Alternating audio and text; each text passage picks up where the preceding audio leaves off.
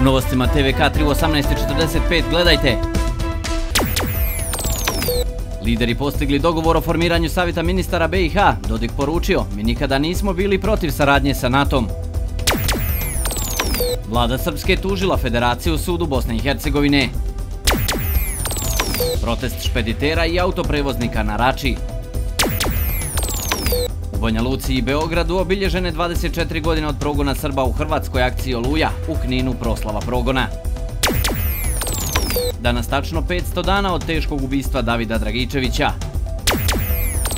Indija, ukinuta autonomija Kašmira. Vrijeme, sutra pretežno sunčano uz lokalnu malu oblačnost. Novosti TVK3 u 18.45.